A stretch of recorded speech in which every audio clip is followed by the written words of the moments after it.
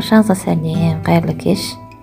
Бүгін сіздерге үй жағдайында қолдан жайылып кесілген қамырдан май қамыр жасап көрсететін боламын өте дәмді болады.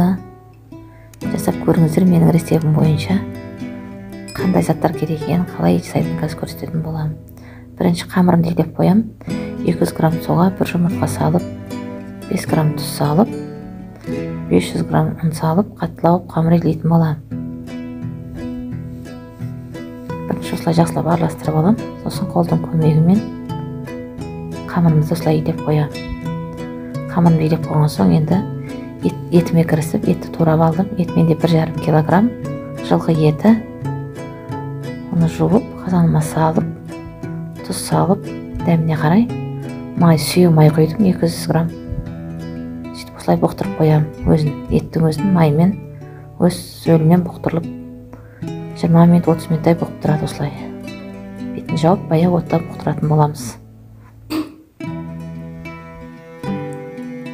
Одан соң жерде түспей қалған сәбіз салдым майдалап туралған сосын бір қызанақ салдым пиязымды салып араластырып жайлап қайтадан бір жиырма отыз минутқа қайтып бұқтырып қоятын боламын сонымен біздің бетіне салынатын етіміз пәрлиіміз дайын болады енді қамырымды жиырма минуттан кейін тынып тұрғаннан кейін осылай кесіп суалаға бөліп аламын үш, кішігірім суалаға. Сөйтіп жаятын боламын. Неғұрлым сәл қаттылау болса қамырымыз езілмей әдемі түседі және кескен кезде де өзімізге оңай болады. Мен бұл жерде үш кішігірім суала болғандықтан менде бұл жерде үш ілеген май қамыр шығатын болады. Қамырымды осылай орап алып кестім. Аса жіңішке қылмай осылай орташа көлемде кесетін боламын. Кесіп алған қамырымды қайнап тұрған алдын ала суға салып тұзын салып пісіріп аламын қайнағаннан кейін 5-10 минуттан кейін сүзгімен сүзіп алатын боламыз. Қайнап жатыр міне. Енді осыларды сүзгімен сүзіп алып